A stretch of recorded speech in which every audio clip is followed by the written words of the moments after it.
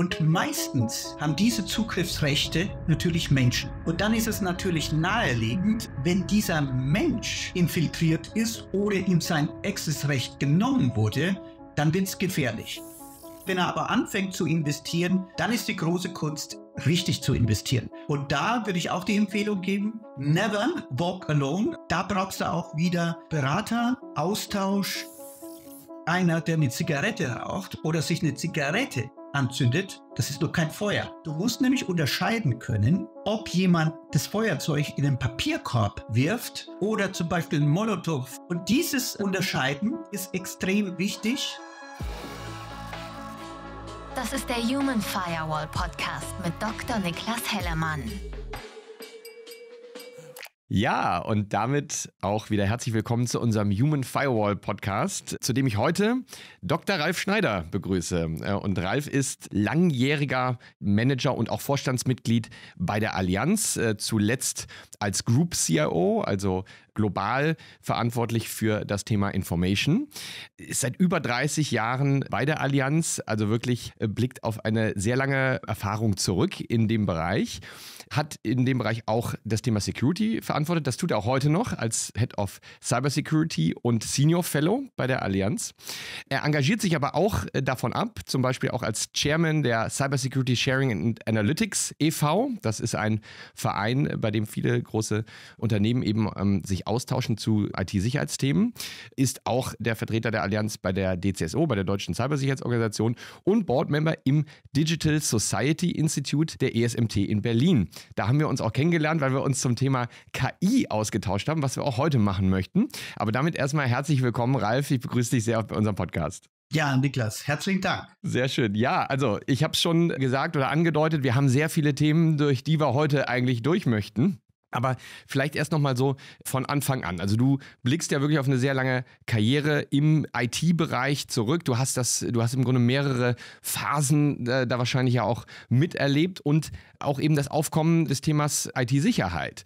Wenn du jetzt mal so auf diese 30 Jahre Erfahrung auch zurückblickst, was hat sich da verändert? Oder vielleicht nochmal ganz konkret gefragt, kannst du dich noch erinnern, was war so das erste Mal, als du als Chief Information Officer mit dem Thema Sicherheit konfrontiert warst? Also ich würde zwei Momente in meinem Arbeitsleben da beschreiben. Der erste, der ist über 20, vielleicht sogar 25 Jahre her. Da war es das erste Mal, als es mit dem Internet begonnen hat. Und da war ein Wurm. Und der Wurm hat sich verbreitet. Das war ganz am Anfang. Keiner wusste genau, was sind Würmer und so weiter. Aber das hat man dann nicht so ernst genommen. Das konnte man auch relativ schnell lösen. Der richtige Compelling Event, und da war ich auch Group CIO, war 2013.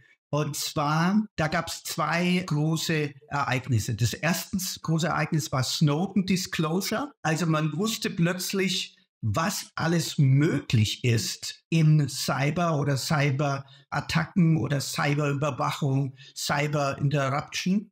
Und das zweite große Event war nicht nur, was alles möglich ist, sondern was auch wirklich gemacht wird. Und das war das Abhören des Telefons von Angela Merkel. Und das war beides in 2013 und damit war mir klar, da rollt eine Lawine auf uns zu, die alle noch betreffen wird. Mhm. Ja, es ist super spannend, wie du es beschreibst, weil gerade wenn wir uns das, die Würmer angucken oder die Viren, also wenn ich mich jetzt mal so an meine ersten Schritte mit dem Computer erinnere, dann gab es da natürlich Viren und es gab Antivirusprogramme, aber da waren ja jetzt keine Kriminellen so richtig, die uns da angegriffen haben, sondern das war so ein bisschen eine Spielerei. Konnte natürlich jetzt bei so einem sehr komplexen Unternehmen äh, wie eine Allianz, die weltweit aktiv ist, sicherlich auch eine Menge Stress verursachen, denke ich mal.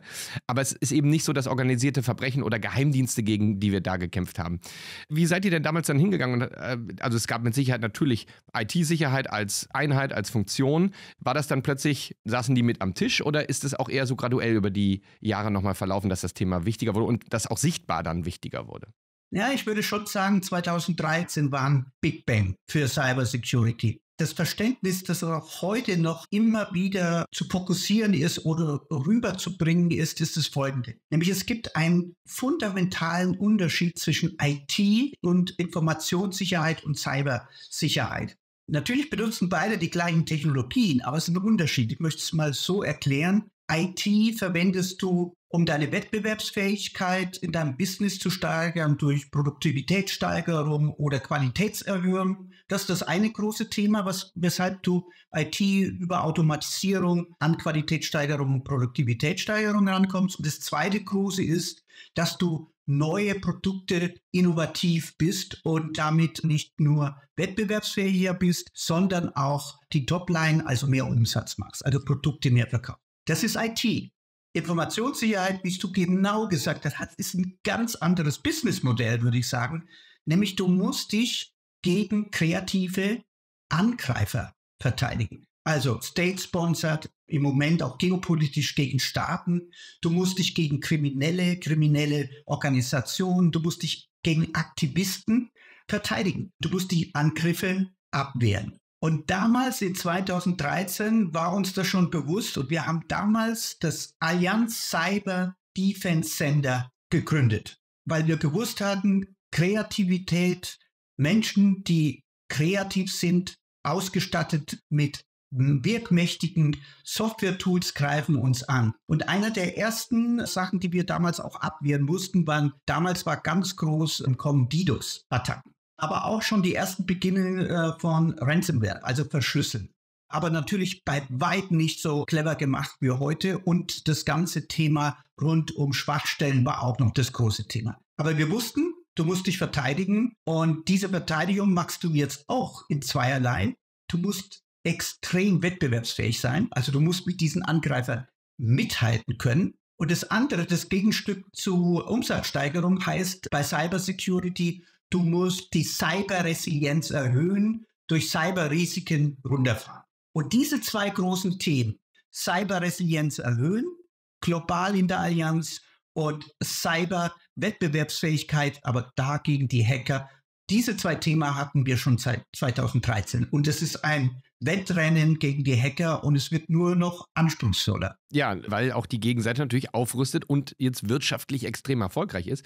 Vielleicht, wenn wir das nochmal so ein bisschen auseinanderziehen, also stelle ich mir sehr spannend vor, als CIO genau diese beiden Herzen, die in der Brust schlagen. Zum einen das Business unterstützen, digitale Geschäftsmodelle entwickeln, aber auch zu unterstützen. Das ist in der Versicherungsbranche, glaube ich, kann man so sagen, in den letzten 10, 20 Jahren ein enormes, äh, enormer Trend gewesen oder in den letzten 10 Jahren eigentlich losgegangen, dass man eben auch sagt, wir wollen auch das, was wir anbieten, stärker digitalisieren und dort auch bessere Services Services bieten und gleichzeitig eben dieses Cyber-Thema. Für eine Versicherung natürlich, würde ich jetzt mal einfach vermuten, ist man vielleicht ein bisschen näher dran, weil man sich eh die ganze Zeit mit Risiko beschäftigt. Aber wenn ich mich sonst so unterhalte, eben mit C-Level-Menschen, dann sagen die manchmal auch, ah, es ist aber auch manchmal schwierig, meinen Kollegen da im Vorstand und meinen Kolleginnen im Vorstand das Thema näher zu bringen. Ist das hier etwas einfacher, weil man sich eben im Kern mit Risiko beschäftigt als Versicherung? Ich würde ganz klar sagen, ja weil 2013 ein Cyber Defense Center aufzubauen und seitdem in Sicherheit zu investieren, ist, glaube ich, nicht sehr weit verbreitet gewesen. Und ich denke schon, genau dieses Risikogesichtspunkte ist entscheidend. Vor allem Allianz hat ja schon immer den Claim gehabt, we secure your future. Und man muss sich sagen, äh, für Organisationen ist natürlich ein Cyberangriff kann das Sudden Death sein. Und dieses Denken, dass man dieses Risiko auch beherrschen muss, das war natürlich für einen Versicherer klar. Natürlich auf einer ganz anderen Ebene. Ja, jetzt sind es praktisch IT. Und es ist sozusagen keine Risiken, äh, die man in der analogen Welt hat, sondern plötzlich tauchen da Risiken in der digitalen Welt. Und auch da muss man sich natürlich auch rantesten, weil äh, zum Beispiel äh, ganz wichtig in der, ich sag mal, analogen Welt ist die Quantifizierung von Risiken. Extrem entscheidend. Und quantifizier mal Cyber-Security-Risiken mit Black Swan-Effekte. Wie willst du das sagen? Wo als erstes und priorisiert investiert man denn? Also das war, glaube ich, das Entscheidendere. Nicht, dass wir sowas tun müssen, sondern wie investieren wir effektiv, um die Risiken, aber auch gelernt in der Versicherung, priorisiert nach unten zu bekommen. Damit hast du ein wichtiges Stichwort oder Gedankengang schon mal auch angesprochen. Auf Null geht's nicht. Ne? In der Risikowelt, in der, und das wissen eben Versicherungen seit Hunderten von Jahren, geht es nicht auf Null, sondern man, man kann sie managen. Äh, was wir heute in vielen Unternehmen natürlich wissen und tun, Risikodiskussionen, das heißt, wir haben da unsere Matrix, Einfalls- oder Eintrittswahrscheinlichkeit mal Schadenshöhe, ist etwas, was nun in immer mehr Unternehmen natürlich passiert. In den großen Unternehmen ist es auch immer schon lange passiert. Aber dieses Gefühl natürlich zu entwickeln, ein Risiko, was ich gar nicht so richtig beziffern kann. Und 2013 gab es ja auch noch nicht diese, diese Vielzahl an Fällen, wo wir auch wirklich, heute ist es ja fast, ich will nicht sagen einfach, aber man kann sagen, okay, wenn eine Ransomware erfolgreich ist und ich kenne meinen Umsatz, ich kenne meine Systeme, dann kann ich ungefähr sagen, was wird das wohl kosten, wenn es erfolgreich ist. Und die Eintrittswahrscheinlichkeit ist vielleicht etwas schwieriger zu beziffern, aber wir haben viel mehr Daten. Damals war das ja anders. Ne? Da, ne, du hast von Black Swan gesprochen und eine große DDoS-Attacke oder ein, eine Ransomware, die ja auch ganz langsam damals erst aufkam, das war sehr schwer zu beziffern. Ne? Ganz genau. Und jetzt ist es natürlich auch so, als Versicherungsunternehmen äh, hat man auch eine Menge interessante Daten und ist wahrscheinlich deshalb auch sehr spannend schon immer gewesen für eben dieses organisierte Verbrechen, das wir bekämpfen oder auch die staatlichen Akteure. Und ihr habt dieses Cyber Defense Center eingerichtet damals. Wie kann man sich das vorstellen? Also damals gab es ja wahrscheinlich auch nicht, ne, also die Ausbildungsgänge gibt es jetzt vielleicht gerade erst. Wo holt man denn diese, diese Experten alle her und diese Expertinnen?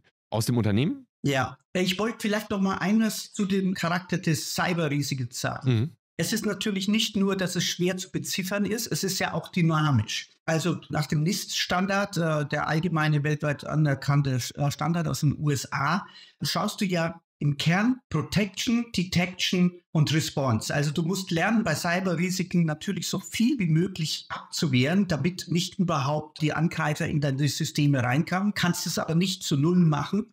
Also 100 Prozent gibt es da nicht. Dann musst du als nächstes aber schnell detektieren, wenn jemand dich angreift. Und das Dritte, nur detektieren nützt dir auch nichts. Du musst versuchen, den Schaden so gering wie möglich zu halten, also Response. Kennen wir ja bei Ransomware, guter Backup ist wichtig, Offline-Backup, dass nicht alles verschlüsselt ist. Also du musst auch gut reagieren können.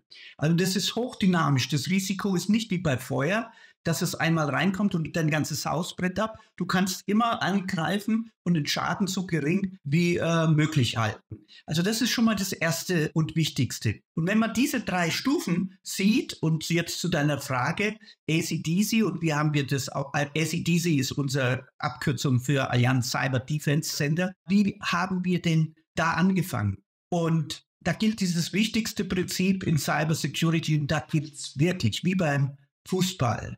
Never walk alone. Also alleine schafft man das nicht. Und äh, wir hatten da starke Partner und wir hatten damals mit der Telekom und mit RSA uns praktisch die Profis damals reingeholt, um das aufzubauen. Und haben aber zeitgleich, und da kommen wir wahrscheinlich noch hin, Faktor Mensch, äh, natürlich auch zeitgleich Mitarbeiterinnen und Mitarbeiter angeworben, sogar ausgebildet. Also es war damals knapp, also sozusagen während dem Studium schon Leute reingeholt über Praktikanten und haben dann über die Jahre ähm, auch ähm, intern aufgebaut. Menschen, aber mit der richtigen Technologie und der richtigen Organisation. Sehr spannend, weil ich glaube, damals, das kann man sich äh, gar nicht mehr so vorstellen. Wir haben jetzt die Fachkräftekrise im IT-Bereich, im Cyberbereich umso mehr. Und damals waren diese Berufsbilder aber ja eigentlich noch gar nicht definiert. Ne? Und so holt man sich dann von innen, aber eben auch direkt aus den Ausbildungsinstituten, ja, Menschen, die sich dafür interessieren oder die dafür auch äh, geeignet sind. Ne? Genau, du sagst den richtigen Punkt, Leute zu gewinnen, die Passion für das Thema haben. Und da gibt es welche oder haben auch welche wirklich intern umgeschult von der IT kommt, auch die Cyber Security. Das Wichtigste ist nämlich Passion und das zweitwichtigste ist Erfahrung und Können. Also du musst in dem Bereich wirklich Erfahrung haben und was können. Also da geht nichts mehr über Management. Also du musst wirklich an der Maschine auch agieren können. Und das ist extrem wichtig. Und natürlich auch, du hast es angesprochen, dynamisches Umfeld. Man muss auch bei den neuesten Trends mithalten und sich ja permanent auch austauschen. Das macht ihr über die CSSA eben auch, also wo große Unternehmen, DAX-Unternehmen sich, sich eben austauschen. Ist das etwas, was auch immer wichtiger wird? Also gerade dieser Austausch, vielleicht ja sogar auch mit Konkurrenzunternehmen auf Cyber-Ebene, der dann insgesamt die Resilienz erhöht. Ist das etwas, was zugenommen hat oder gab es das auch immer schon? Nee, wir haben, wenn ich mich richtig erinnere, den Verein CSSA gegründet 2015 mit sieben Mitgliedern, Blue Chips auf der Deutschland. Mittlerweile sind wir 16 und in dem Verein kommst du auch nur rein, wenn du selbst was kannst und dann können teilst, damit man gemeinsam stärker ist. Und es ist ganz klarer Trend, du musst lernen zu kooperieren. Also das ist nicht gegeben. Und das Zweite, du brauchst Plattformen, wo du integriert äh, kooperierst und zusammenarbeitest. Was meine ich damit? Weil in Cybersecurity alles so schnell geht. Ein Angriff äh, kann, wenn er vorbereitet ist, das kann lange dauern, aber wenn er exekutiert äh, wird, dann geht alles relativ schnell. Und dann brauchst du auch schnell Informationen. Du sagtest ja auch, militärisch gesprochen etwas Aufklärung, Cyber Intelligence ist so wichtig. Und bei dieser Cyber Intelligence ist natürlich als allererstes der Austausch sehr integrativ, Schwachstelleninformationen, aber es geht jetzt mittlerweile in den letzten Jahren immer weiter. Also nicht nur Austauschen von Informationen, sondern Austausch, wie verteidigt man sich dagegen, Austausch, wie hilft man anderen, die in einem Angriff sind und wie analysiert man zum Beispiel das Unknown Unknown? Also finde mal in deinem System vielleicht Schwachstellen oder die Angreifer. Also diese integrativen Austausch, der wird immer intensiver. Ist aber auch notwendig. Nicht leicht zu organisieren. Deswegen haben wir auch das als Verein gemacht, der sehr vertrauensvoll zusammen arbeitet und ist halt dann auch klein in der Hinsicht, dass wir 16 Unternehmen, aber wir öffnen die Insights auch zu anderen Organisationen. Aber es ist wichtig, dass man in diesen Austausch kommt weil letztlich, Unknown, Unknown finde ich sehr schön als Term. Es ist eben viel da draußen unterwegs. Es gibt neue Bedrohungen, es gibt neue Risiken, aber es gibt eben zum Teil auch Muster, äh, wie Angreifende vorgehen. Wir haben jetzt ganz kürzlich, das ist eine akute Information, die rausgekommen ist. VW wurde 2015 infiltriert. Die haben das dann entdeckt und konnten das auch mitigieren, ist aber natürlich jetzt erst in die Öffentlichkeit gelangt. Man kann davon ausgehen, dass natürlich hinter den Kulissen dort auch vielleicht zu diesem Thema sogar auch ein Austausch stattfand und man sich gegenseitig geholfen hat hat. Ne? Absolut. Und wenn man jetzt mal nochmal ins Unternehmen äh, reinguckt, jetzt haben wir darüber gesprochen, dass es äh, vielleicht, wenn man das Thema Risiko im Kern hat als Versicherungsunternehmen, dass es vielleicht einen Tacken einfacher ist, mit seinen Peers im Vorstand über ähm, Cyberrisiken zu sprechen. Letztlich da kommen wir gleich auch nochmal zu, ist es ja auch für die Versicherungsbranche ein Geschäftsfeld. Aber wenn man jetzt mal auf das Interne guckt, also wir sprechen sehr häufig über eben ja, Sicherheitskulturen, wie kann man eben auch diesen Faktor Mensch besser aufstellen, die Resilienz dort erhöhen. Und was immer wieder rauskommt, ist eben auch so dieses Commitment des Top-Managements. Also wenn wirklich der Vorstand, aber eben auch weitere Management-Ebenen eingebunden sind und auch sichtbar vorleben, dass Security eben nicht nur ja, nervig ist und uns vom Arbeiten abhält, sondern eben auch ähm, unsere Arbeitsplätze mitverteidigt oder wir selber damit beitragen können. Worauf kommt es da an? Wie kriegt man die Kolleginnen und Kollegen ins Boot und wie lebt man es wirklich gut im Top-Management vor? Die erste Sache ist, es geht erstmal ums Verstehen. Und wie ich vorher schon gesagt habe, dieser große Unterschied zwischen IT und Informationssicherheit. Das muss erstmal verstanden werden. Dann gab es aber in den letzten, ich weiß auch nicht genau, wann es war, aber vier, fünf Jahren natürlich einen Schub fürs Top-Management von der anderen Seite, dass das Top-Management bis zu den Aufsichtsräten verantwortlich sind für, auch vom Regulator für die Sicherheit. Also das pusht schon mal, damit man sich mit dem äh, Thema beschäftigt. Was aber noch wichtiger ist, nicht nur immer auf Angst machen, sondern auch erstmal verstehen. Ja? Und wenn du sagst, du willst Innovation, dann musst du auch Risiken eingehen. Du gehst ins Internet. Du könntest ja, wenn du alle Leitungen ins Internet kappst, dann kannst du auch nicht angegriffen werden. Okay. Dann ist Risiko null. ja, also von daher, das geht aber nicht. Also muss man sagen, natürlich ist Sicherheit wie beim Formel-1-Wagen, so versuche ich das Bild jetzt mittlerweile. Also Formel-1-Wagen hat nicht nur Innovation und einen riesen PS unter die Haube und aerodynamisch und kann extrem schnell fahren. Also wenn du ein Formel-1-Rennen gewinnen willst, dann brauchst du auch gute Bremsen. Sonst überstehst du die nächste Kurve nicht. Und diese Metapher, diese also wirklich hochgerüsteten Bremsen ist für ein innovatives Geschäft Cyber Security. Also es ist nicht nur Angst vor dem Bösen, sondern es ist eine Möglichkeit, dass du überhaupt dein Business in den Umfeldern so gestalten kannst, wie du es gestalten kannst. Wenn du aber mit 100 äh, oder 150 in eine Cyber Security Risikokurve ins Internet fällst und du hast keine Cyber Defense, dann viel Spaß. Ja, also dann passiert natürlich was. Also dieses Verständnis, es ist auch ein positiver Effekt und ist nicht nur negativ. Ja, weil nämlich investiert werden muss und deswegen ist natürlich auch eine Value Proposition, die positiv ist und nicht nur passiv, reaktiv, schon mal das Erste.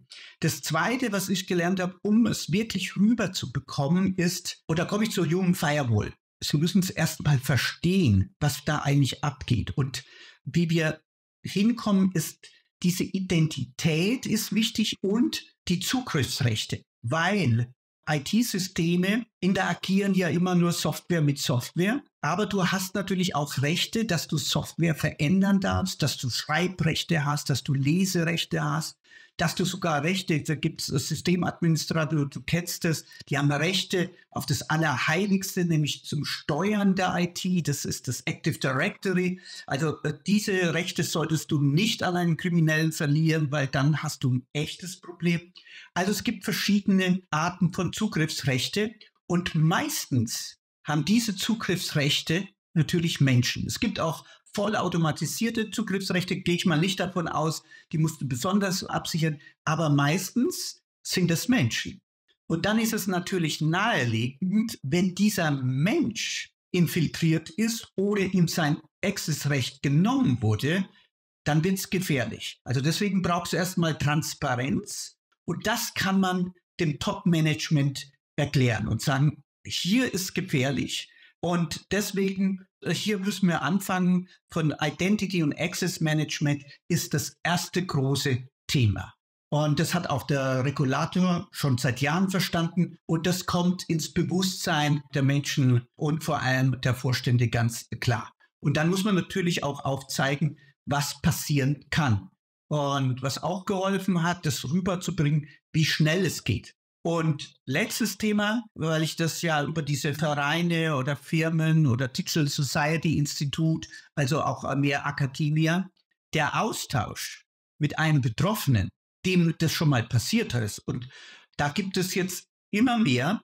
Also das ist auch Augenöffnen für alle, die noch nicht investiert haben. Ist das etwas, also sehr, sehr spannend. Also lass uns mal kurz das Thema Identity äh, parken, da möchte ich nochmal drauf zugehen. Aber äh, dieses Thema mit Betroffenen sich austauschen. Habt ihr das mal gemacht oder vielleicht auch für Kundenunternehmen, die, die bei euch versichert sind, dass man wirklich mal mit Betroffenen spricht? Es gibt ja einige wenige Unternehmerinnen und Unternehmer, die in die Presse treten und sagen, ja, so, uns ist das passiert.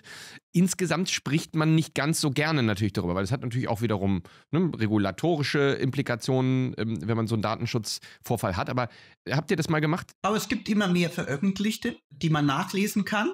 Und dann gibt es natürlich wirklich auch in kleineren Zirkel öffnen sich äh, die Kolleginnen und Kollegen. Also da geht es auch. Und zu Betroffenen machen, das ist auch häufig gemacht wird, ist auch sehr wirksam.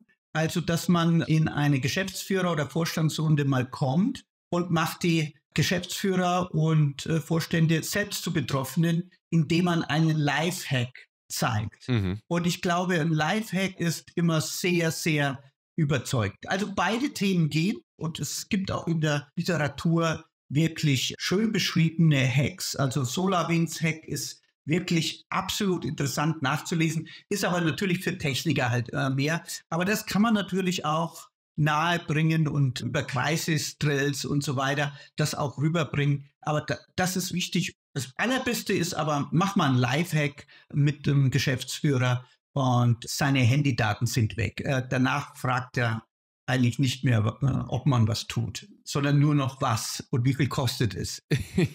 Kommen wir vielleicht genau zu diesem Punkt, weil das ist auch etwas, was wir sehr häufig auch als Frage bekommen äh, von unseren, also wir haben ja interagieren mit Unternehmen jeglicher Größe und ich würde mal sagen, die ganz großen Unternehmen, die Unternehmen in der Industrie, die auch sehr reguliert ist, die haben das da etwas leichter, auch budgetfrei zu machen, aber oft ist die Frage, die auch wir bekommen, wenn ich jetzt zu meinem CIO oder zu meinem IT-Leiter gehe in einem kleinen Unternehmen, wie kriege ich denn das Budget Budget für Security. Also eine Sache hast du schon mal äh, jetzt besprochen, also mach's, erkläre es, äh, sorge für Verständnis, aber mach es auch irgendwie greifbar. Aber was gibt's noch? Also wie pitcht man am besten Security? Also du hast das Wichtigste schon mal gesagt. Also die Gefahr muss man natürlich äh, schon aufzeigen. Also es ist nicht uh, nice to have, es drohen wirklich Gefahren und man muss einfach sagen, wenn man da nur auf Glück setzen will, das ist schon ziemlich gefährlich. Also das ist sozusagen die Value Proposition Es ist extrem gefährlich, was gerade äh, ansteht. Das Zweite, was man sagen sollte, ist natürlich, wir helfen euch auch, damit ihr auch neue Geschäftsfelder bearbeiten könnt, also diesen Support anbieten. Und das Dritte würde ich ganz klar sagen, und da würde ich das eigentlich Research und Benchmark nehmen, nimm einfach deine IT-Kosten. Nämlich das ist die andere Seite. Wenn du IT-Kosten hast von, sagen wir, X, dann kannst du eigentlich sagen, du musst dediziert in die andere Welt ob du die outsourced oder selbst magst oder hybrid magst, ist jetzt mal unabhängig davon. Du solltest im Minimum 3% deines IT-Budgets in Cybersecurity dediziert investieren. Ja, dediziert investieren. Und Hochrisikounternehmen, also im Health-Sektor, Energiesektor oder auch im Finanzsektor, also die gehen bis zu 15 Prozent hoch. Also da ist noch eine Spanne. Das Wichtige ist aber hier, es kommt gar nicht so auf die Spanne an, außer dem Minimum 3%. Die große Kunst ist, das effektiv und effizient einzusetzen. Weil du kannst natürlich in Cybersecurity auch Geld verbrennen. Ja, also du kannst relativ schnell irgendwas kaufen und es nützt dir überhaupt nichts. Also ich würde denjenigen sagen, also wenn du nichts dediziert investiert, lieber Geschäftsführer, okay, das ist Babonspiel. Also dann würde ich sagen, in den nächsten drei Jahren wird es sich erwischen. Die zweite Sache, wenn er aber anfängt zu investieren, dann ist die große Kunst, richtig zu investieren.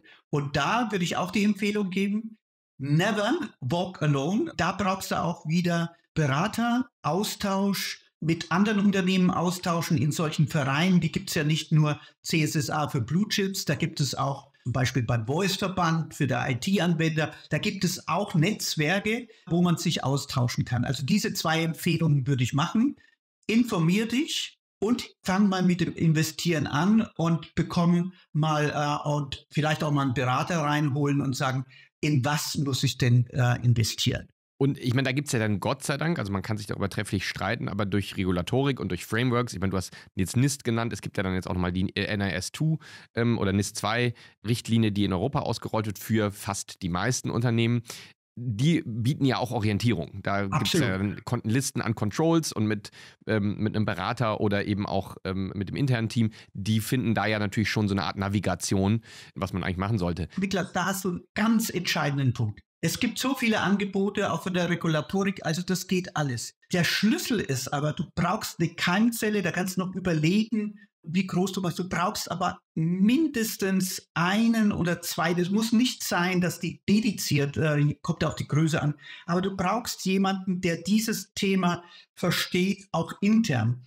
Sonst verspreche ich äh, dem äh, Unternehmen, kommst du unter die Räuber. Dann kriegst du so viel verkauft, das wird für dich teuer. Also du musst auch intern aufbauen und du kriegst natürlich, je besser äh, deine internen Einheiten sind und äh, ausgebildete, äh, mehr Souveränität.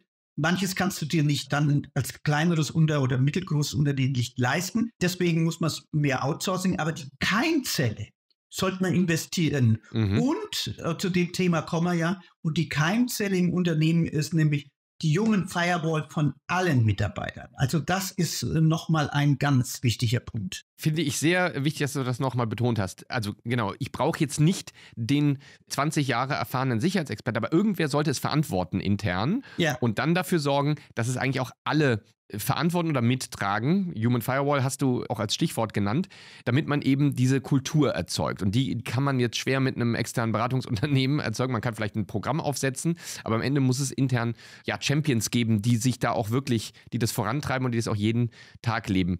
Wenn du mal guckst, also ein Aspekt, den wir bei, bei diesem Thema, und du hast es auch ein bisschen angedeutet, diese Fähigkeit dann schnell zu reagieren. Da ist auch so das Thema Fehlerkultur mit drin, was wir sehr häufig diskutieren, als ein Aspekt von der Sicherheitskultur.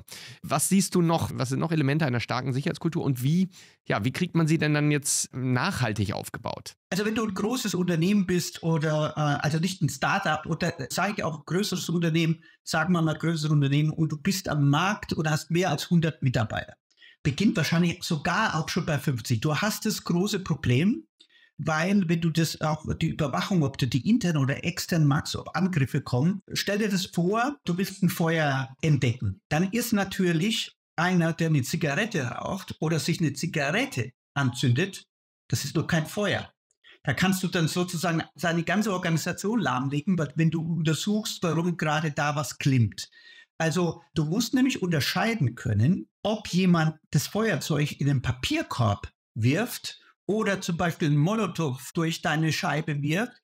Und dieses äh, Unterscheiden ist extrem wichtig. Und je mehr Detektoren du da hast, und interessanterweise sind die einzelnen Mitarbeiterinnen und Mitarbeiterinnen extreme gute Detektoren. Aber dafür brauchst du Security-Kultur äh, und in dem äh, Umfeld kennt ihr ja euch wahrscheinlich wesentlich besser aus als ich noch. Aber zum Beispiel E-Mails oder Kommunikation mit externen Files oder File-Download. Und da kann man schon erkennen, auch technisch unterstützt, holla, das ist nicht nur eine normale Zigarette, da wirft gerade jemand tatsächlich einen Brandsatz auf meinen Rechner und da schnell melden. Und dann muss natürlich diese Meldung an eine Stelle gehen, intern oder extern, die damit was anfangen kann und schnell reagieren kann. Also dieses Detektieren, das kann man technisch aber auch natürlich über Menschen machen. Oder einfach, was ja jetzt mit AI äh, kommt, die ganzen Fake-Anrufe oder diese Fake-Videos. Je früher man äh, Menschen haben, Gut-Feeling, da stimmt was nicht, dann können die Techniker äh, reagieren. Also diese, dieses Zusammenspiel zwischen der menschlichen Komponente, was ich vorher gesagt habe, weil einen Zugriff kriegst du meist und die Rechte über Menschen. Und wenn die merken, dass da mit dem Zugriff, äh, gerade bei ihrem Zugriff, was nicht stimmt, dann kannst du sehen, da ist Gefahr in Verzug. Mhm. Ja, sehr spannend. Also gerade dieses Thema, es früher mitzubekommen und dafür eben auch mit den Menschen mehr zu interagieren. Ne, Sensoren ist so ein Bild, ist, glaube ich, extrem mächtig. Wir sehen eben große Fälle auch, irgendwie der Hack von Reddit, da sprechen wir sehr häufig drüber, der genauso abgefangen wurde. Mitarbeiter hat draufgeklickt, aber Mitarbeiter hat dann auch gesagt, ah, Moment, irgendwas war da doch komisch, ich melde mich beim Sicherheitsteam und dann konnte das im Grunde eingedämmt werden. Und jetzt hast du ein, ein Stichwort natürlich gegeben und das ist KI.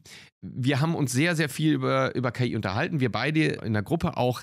Und da ging es insbesondere um das Thema, was steht im Vordergrund, Potenzial oder Risiko. Ein Beispiel hast du gerade angesprochen. Wir sehen es eben im, im kriminellen Bereich sehr stark auch gerade, dass es genutzt wird. Also es werden eben Large Language Models und Voice Cloning Modelle etc., Deepfake, äh, werden genutzt, um Social Engineering zu betreiben. Das bringt Unternehmen eigentlich jetzt zwangsläufig in die Situation, dass sie sich eben mit dem Faktor Mensch auch beschäftigen müssen, weil das sind teilweise auch Angriffe, die finden auf privaten Kanälen statt. Okay, E-Mail-Phishing auf der privaten E-Mail gab es immer, aber diese Anrufe, wir haben, also in der Presse steht sehr häufig, es gibt die Anrufe von den Kindern, die vermeintlich einen Unfall hatten und dann wird dort die Stimme gefaked.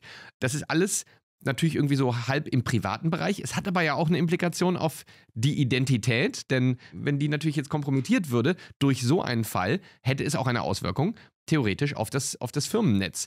Wie geht man da am besten ran? Also als allererstes mal dieses Verständnis, das ist ein extrem neues Spiel. Also die Race Against the Hackers bekommt eine ganz andere Dimension nochmal. Wie möchte ich das klar machen? Der Angriff, der heutzutage laufen kann, ist natürlich durch den Einsatz der KI schneller. Also ich kann die KI schneller einsetzen. Also es macht meinen Angriff schneller, weil ich sehr viel überblicken kann, was Large Language Model machen. Und da darf man eins nicht unterschätzen. Das ist ein riesen Brandbeschleuniger. Warum?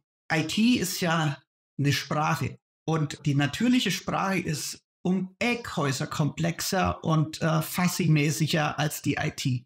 Also die IT-Sprache hat ziemlich viele genaue Regeln. Jetzt kann man sich doch schon vorstellen, Large Language Model, wie mächtig die geworden sind bei der natürlichen Sprache. Wie mächtig kann man sich dann vorstellen, ist Large Language Model in der IT? Ich glaube, ob das sich überhaupt jemand schon ausgedacht hat, wie mächtig die da werden können, weil das in einer sehr strukturierten Sprache sind. Ich will nicht übertreiben, auch in der IT gibt es fuzzy äh, Sachen und äh, da werden Fehler gemacht, aber sie sind sehr mächtig. Also habe ich jetzt kreative Menschen mit sehr mächtigen Tools. Und ich weiß nicht mehr, wofür die eingesetzt werden. Ob der Angriff jetzt über ein Fake-Video kommt oder über gefakte E-Mails oder über Spracheingaben und so weiter. Also das ist das Erste. Die Angriffe werden schneller. Das wäre aber noch nicht immer das größere Problem, weil ich habe ja später gesagt, Das größere Problem ist, du musst ja detektieren. Und ob die jetzt schneller ablaufen und du musst schneller detektieren, ist ein normales Game.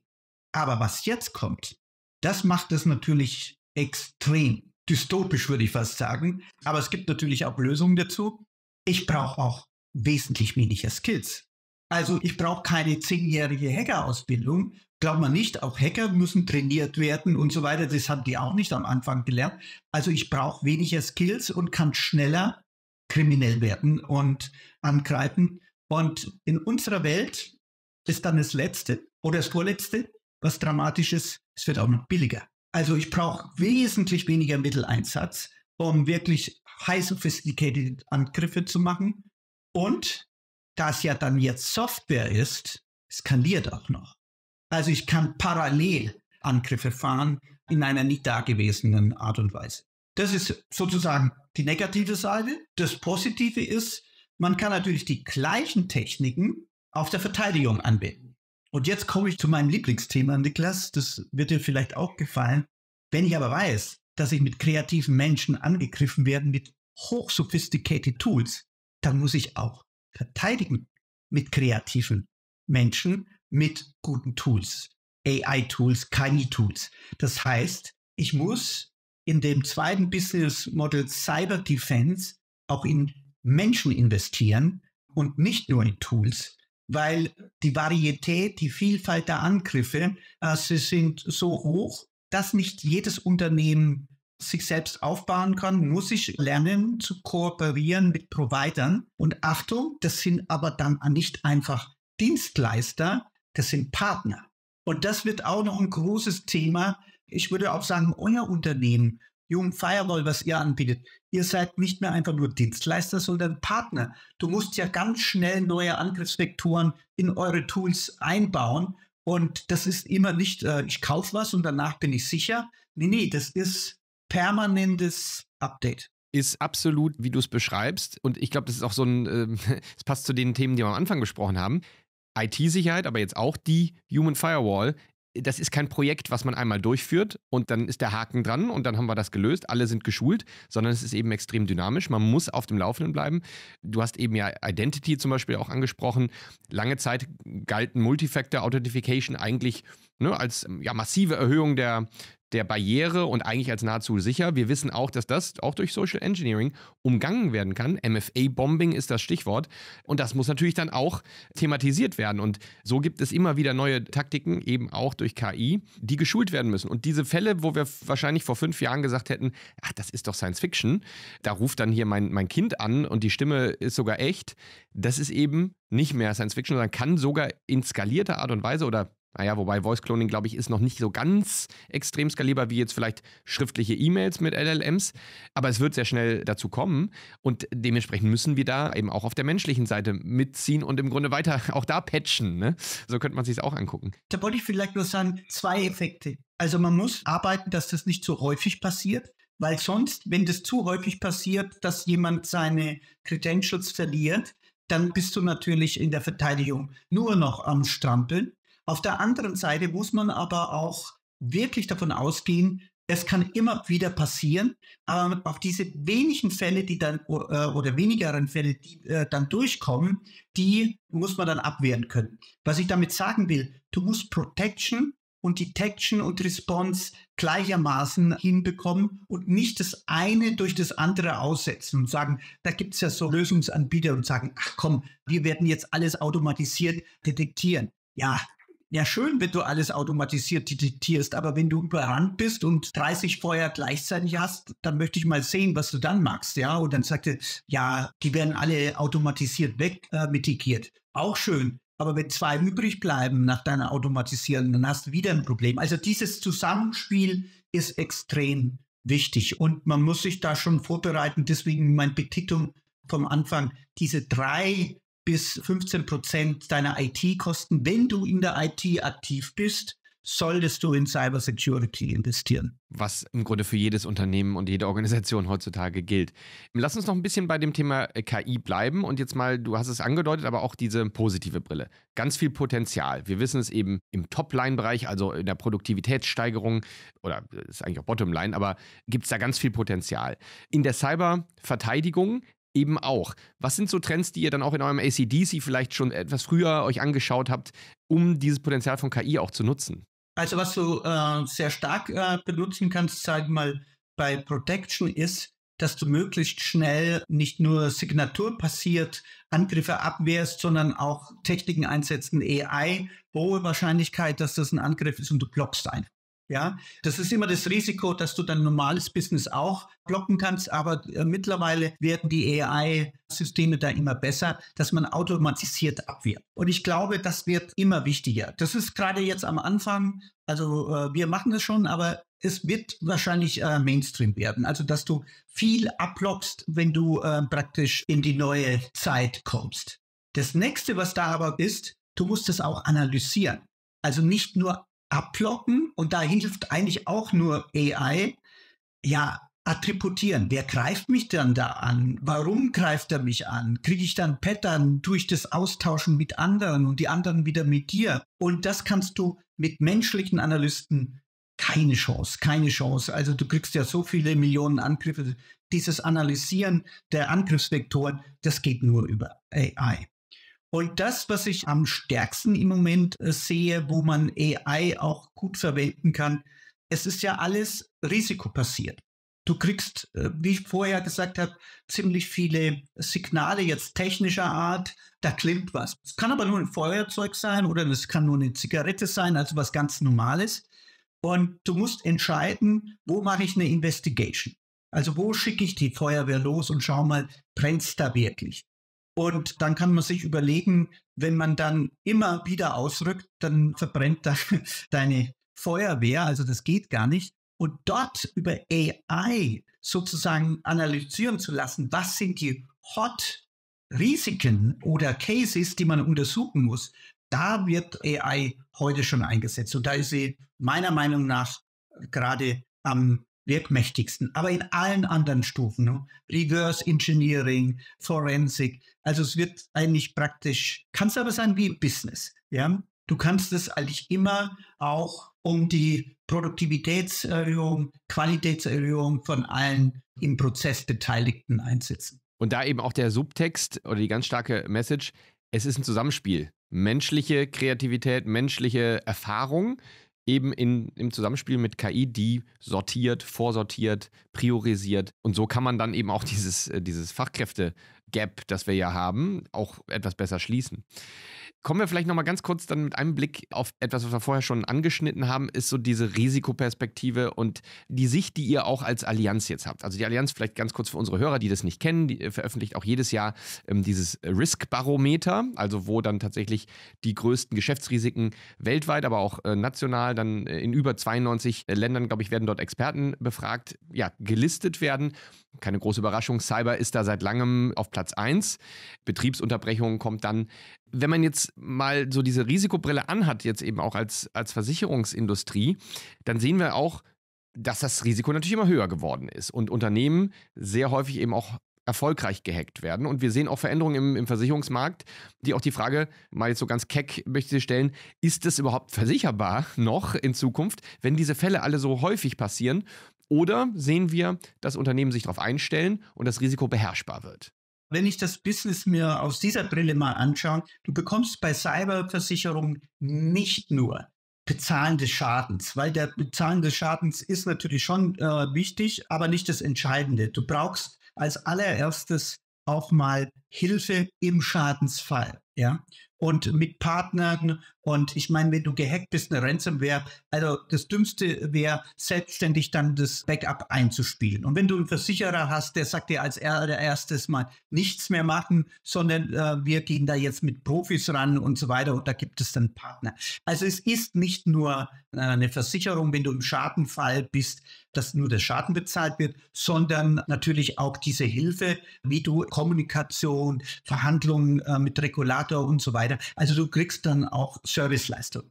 Nichtsdestoweniger will man sich natürlich von dem Schaden absichern. Und ja, das ist ein gewisses Dilemma weil natürlich das für die Versicherer auch ein großes Risiko ist und Kumulrisiken da auftauchen können. Und deswegen geht man immer auch in so einen Sicherheitsdialog. Und ich würde mal so sagen, ich würde es fast umdrehen.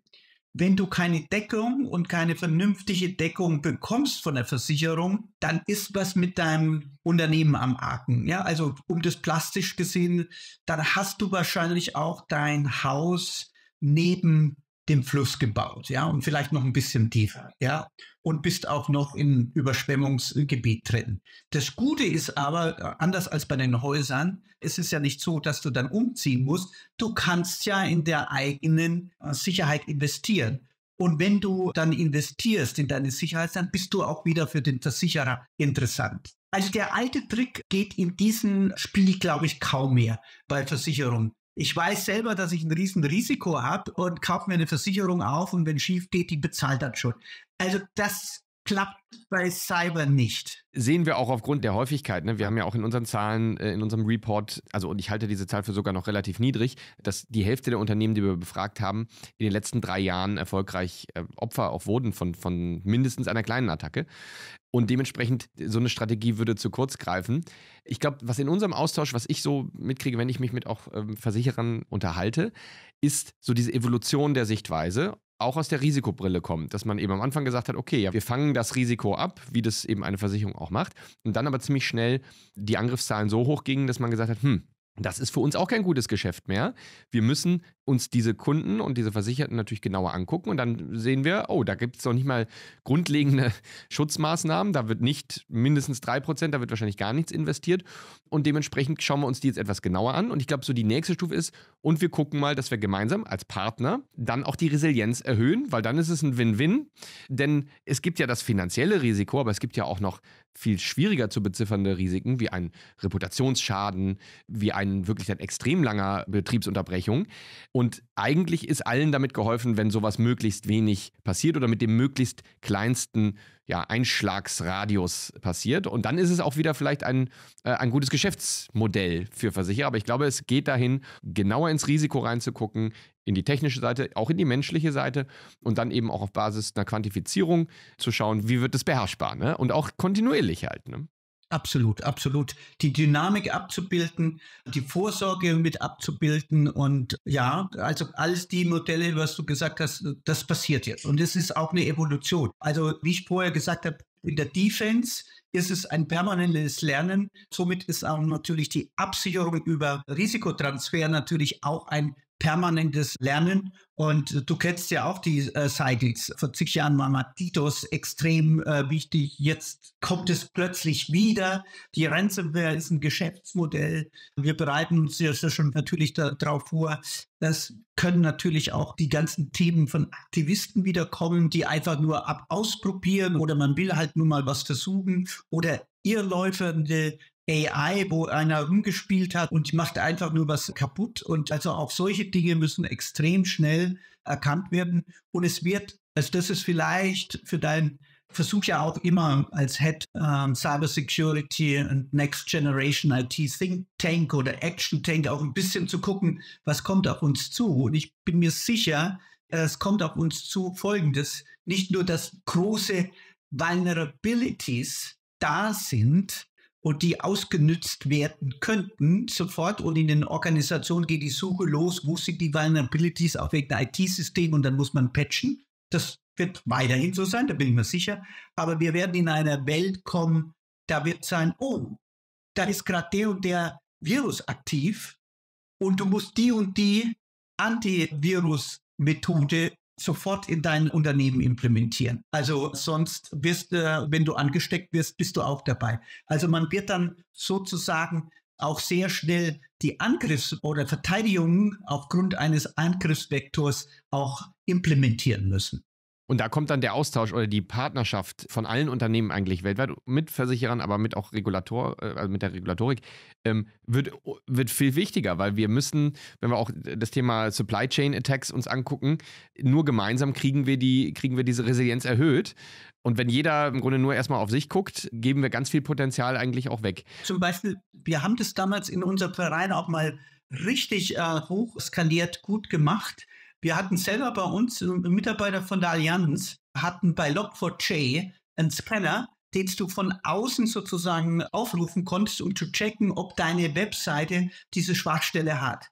Dieses Skript wurde von Allianzmitarbeitern geschrieben und wir haben es unseren Vereinsmitgliedern äh, sozusagen zur Verfügung gestellt und die konnten das äh, genauso benutzen. Wie die Allianzer konnten die das auch benutzen. Und genau solche Dinge diesen Austausch, äh, den braucht man natürlich institutionell. Und Claudia Plattner, äh, die Präsidentin vom BSI, will ja genau solche Plattformen und Cybernation Deutschland. Ich glaube, das ist genau der richtige Trend. Und ich denke auch solche Informationen, wie du gesagt hast, und solche Hilfestellungen werden auch über Versicherer kommen bin ich mir auch sicher. Aber da müssen wir gemeinsam sein, weil wir wollen ja eigentlich, das ist ja kein Wettbewerbsvor- oder Nachteil, ob ich jetzt angegriffen werde oder nicht. Das ist immer ein Wettbewerbsnachteil und dann tauscht man sich da auf. Das ist das Schöne an äh, Cyber. Da gibt es auch kein Kartell, sondern das ist gemeinsam verteidigen. Das ist das Gebot der Stunde. Ne? Absolut. Ich meine, wir sehen es ja bei Angreifern, wer sich noch erinnert, das ist gar nicht so lange her, aber es wurde ja MGM, die große Casino-Kette, wurde infiltriert,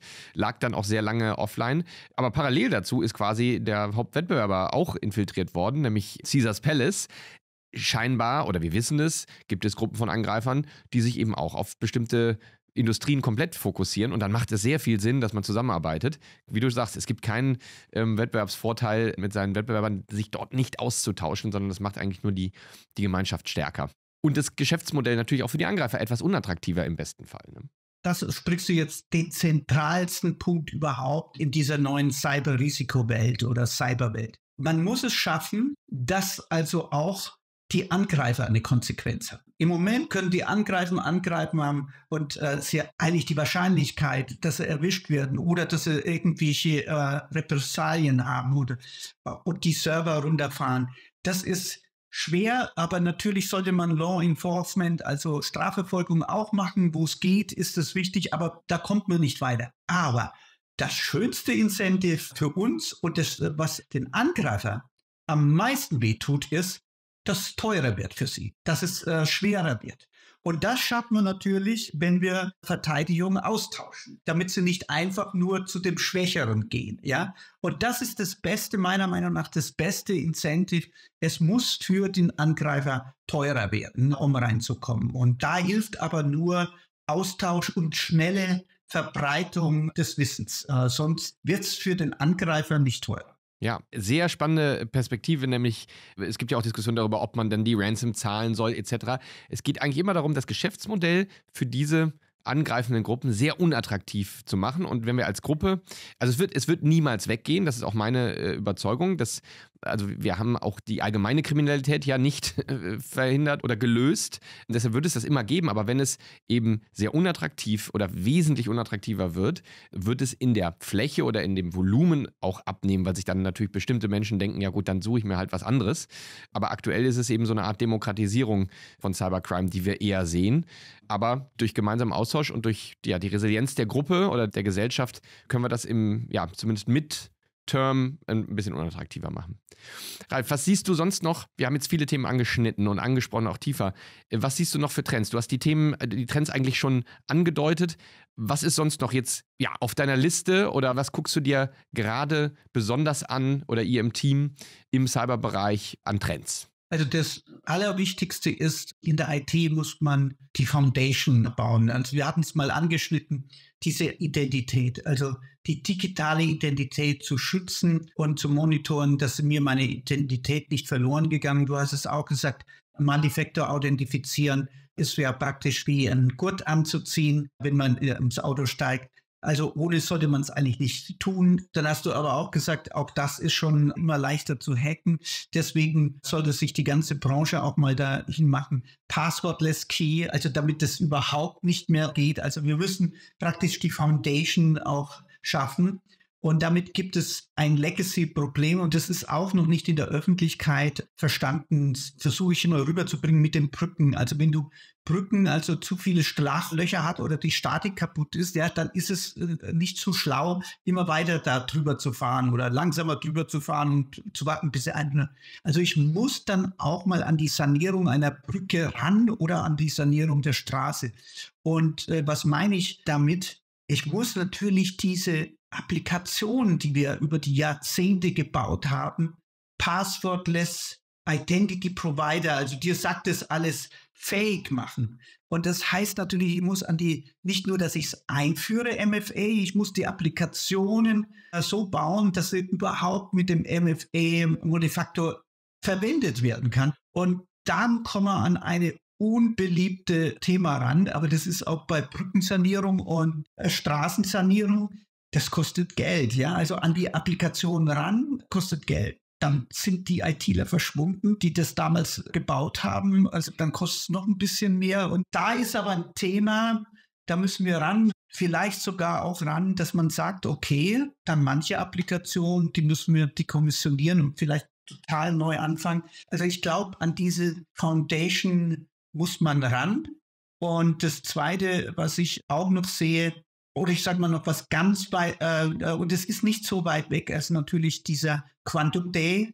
Also der wird uns allen wehtun, wenn plötzlich wirklich äh, jemand ad hoc alles knacken kann, dann wird wieder das Gerenne losgehen und wir haben es ja schon immer gewusst und dann wird Riesenprojekte gemacht wie Jahr 2000 oder sowas. Aber da kann man sich jetzt auch schon drauf vorbereiten und sollte man es vorbereiten. Und das Allerwichtigste, weil in dem Thema vor allem durch die AI nicht mehr weiß, von wo der Wind herkommt, ist es wirklich die Kompetenz aufzubauen bei dem Thema, aber auch die Kommunikation mit anderen, wieder diese integrierte Vernetzung, was da alles zukommt. Also wer glaubt, das alleine zu lösen, ohne zu lernen, zu kooperieren in dem Thema Cyber Defense, das wird scheitern. Also wir müssen lernen, alle also Informationen aufzunehmen und dann lernen, das ist ein Riesenthema auch bei uns, ja, gute Ideen dann in der Organisation schnell umzusetzen. Nämlich oft weißt du, was du machen müsstest, aber du weißt nicht wie. Ja? Und vor allem, was auch öfters, immer öfters kommt, und das werden alle noch sehen, ja, mit wem? Ja, ich wollte das auch nochmal ansteigen. Du hast jetzt eigentlich schon fast das perfekte Schlusswort gebracht, aber wir müssen doch nochmal rein, weil du es jetzt auch nochmal angeschnitten hast. Ich finde es bemerkenswert, dass in dem Risk-Barometer von der Allianz es einen Unterschied gibt zwischen den globalen Daten und den deutschen Daten insofern, dass in Deutschland der Fachkräftemangel viel höher gerankt ist. Also wir scheinen hier in Deutschland dieses Fachkräfteproblem nochmal viel akuter zu sehen. Und ich glaube, auch wenn man auf die Zahlen guckt, ist das auch nicht verwunderlich. Ja, wie kriegen wir das denn gelöst? Also, und welche Fähigkeiten brauchen wir? Das ist etwas, was wir ja auch besprochen haben. Natürlich KI, KI zu bedienen. Du hast jetzt das Thema Quantenverschlüsselung angesprochen. Aber was sind so die Kernfähigkeiten, die wir in der Zukunft brauchen für die Talente der Zukunft? Also ich gehe mal ganz speziell rein in unseren Hauptthema, diese Cyber Defense. Äh, kannst du dir vorstellen, da ist natürlich auch wirklich rar gesät. Und als allererstes muss man sagen, und da hilft uns natürlich remote zusammenzuarbeiten, ist in Cyber kein Problem. Das machen wir schon seit Jahrzehnten. Also man arbeitet remote zusammen, man muss nicht an einem Ort sitzen. Also das heißt, als allererstes, es muss nicht nur jemand sein, der in Deutschland lebt. Also man kann remote überall. Es können auch Deutsche sein, die im Ausland sind und so weiter. Also man kann sehr flexibel zusammenarbeiten. Und das Zweite ist, aber man kann auch diejenigen, die in Deutschland sind, auch mobilisieren für das Thema. Nämlich in Cyber, was ich gelernt habe, geht es viel mehr um Leidenschaft und es geht viel mehr um Bereitschaft, sich in Neues einzudenken und, was ich vorher schon gesagt habe, bereit, open-minded zu sein und mit anderen zu kooperieren. Und wir haben zum Beispiel ein Programm gemacht, und zwar Cyber Talents zu finden. Und haben Kursen, Online-Kurs angeboten und mit der Zielgruppe, weil wir ein Projekt auch mit Siemens hatten, für Afrikanerinnen und Afrikaner in ihrem Heimatland, aber auch Flüchtlinge oder Migranten. Und wir haben es eigentlich auch Zero Exclusion, wir haben es für alle geöffnet. Ja? Und wir hatten, äh, das ging viral, 1000 Bewerber und wir hatten nur 60 Plätze um die Schulung. Aber von diesen 1000 Bewerber haben den Eingangskurs Top-Leute gefunden und die 60, die sind richtig gut und die waren alle nicht mit einer mathematischen oder Informatikstudium. Das eine der besten war eine Afrikanerin, die hier in Deutschland lebt und eigentlich ein Hackelportal aufgezogen hat. Und die, die ist richtig, richtig gut. Und wir bieten da jetzt äh, Praktikums an, äh, um es weiter anschlussfähig zu machen. Also ich würde sagen, lieber zu gucken und Leute, die Leidenschaft für das haben, zu gewinnen und gar nicht so auf das äh, System, das muss ich Education muss sich fulminant verändern, ja, das ist klar, aber auch die Möglichkeiten nutzen, was ist denn eigentlich schon da? Auch selbst in deinem eigenen Unternehmen. Finde ich extrem äh, spannend, weil ich meine, wir sehen das natürlich in unserem Unternehmen auch. Äh, wir sind ne, extrem divers aufgestellt. Wir sind auch remote. Wir sind zwangsweise äh, remote gewachsen, weil wir natürlich in der Corona-Krise ähm, sehr stark Mitarbeiter zugewonnen haben. Aber ich nehme das genauso immer auch wahr. Man muss auch mal gucken, also jetzt auch für unseren Bereich zum Beispiel, wir machen ja etwas, das gab es jetzt in den letzten zehn Jahren oder vor zehn Jahren im Security-Bereich noch nicht so. Da gab es dann irgendwie äh, Klassenraumschulungen. Mal zu schauen, was sind die Fähigkeiten denn eigentlich hier? Kann ich die nicht von woanders auch nochmal übertragen? Und was, was ist eigentlich im Kern das? Und für mich ist dieses Begeisterungsfähigkeit und Neugier immer wichtig. Im Cyberbereich, gerade wenn man jetzt auch zum Beispiel über Forensik oder Investigation spricht, dann muss da jemand sich auch ganz tief reinbohren, sich auch vielleicht in die Angreifer versetzen können. Und das sind Fähigkeiten, die finden wir vielleicht auch in anderen Bereichen. Es gibt auch ganz tolle natürlich Ausbildungsprogramme mittlerweile.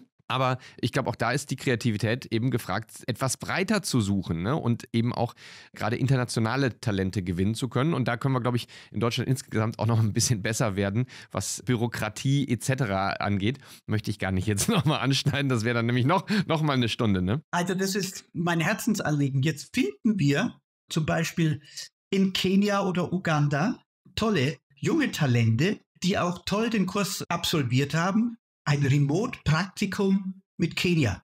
Wie das bezahlt wird, wie das steuerlich, ich bin ja mal gespannt. Also wir werden es mal ausprobieren. Aber das wird bürokratische Hürden geben und wie bezahlst du und wie entlohnst du dann die Mädels in Afrika und so. Also ich kann mir das alles gar nicht vorstellen. Und da muss man natürlich komplett umdenken und was mir gerade eingefallen, als du das mit diesen anderen Talente, weil die Technik, die handwerkliche Technik des Hacking ja ähm, oder des Defense ja abgenommen wird über KI-Tools. Du musst ja eigentlich dann das Prompten der KI-Tools nur gut können in der Defense und vor allem dieses kritische und kreative, weil wenn mich eine vollautomatisierte AI angreift, dann kann ich auch vollautomatisiert AI verteidigen. Aber die greifen immer mit Menschen ein. Deswegen brauchst du auf der anderen Seite immer dieses kritische, kreative Element auch in der Verteidigung. Und letztlich ist das auch, und vielleicht ist das jetzt auch ein gutes Schlusswort, auch eine Fähigkeit, die wir als Gesellschaft auch nochmal weiter stärken müssen. Kritisches Denken.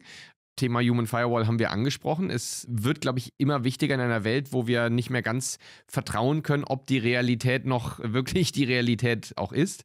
Aber es hilft eben auch, ja, bei den Angriffen, die wir uns noch gar nicht vorstellen können, da einfach auch kritisch zu bleiben und das kritische Denken zu stärken. Und die Talente, die das mit sich bringen, die finden wir überall. Aber wir müssen sie aktiv suchen.